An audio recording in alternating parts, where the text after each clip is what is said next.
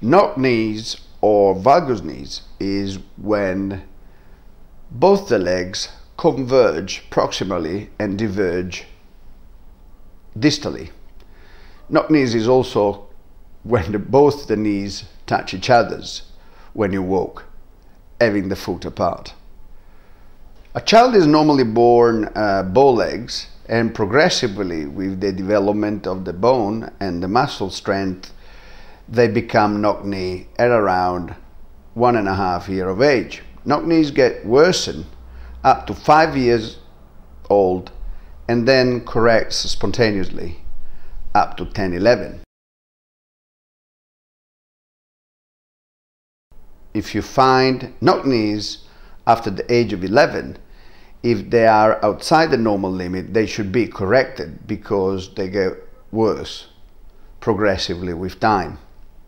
It's proven that bracing something that is physiological, like knock knees, is totally incorrect. Embracing pathological knock knees is again of no use.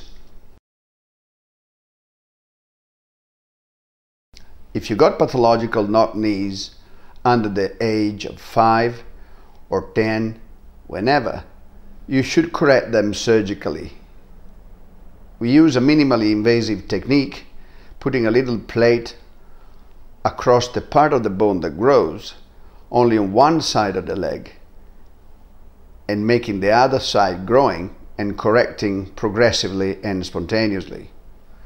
Then the plate is removed. This is a minimally invasive surgery. It takes 15 minutes in the operating theater. The child goes back after three hours at his own house can walk whenever it can according to pain and it doesn't have any discomfort after a week.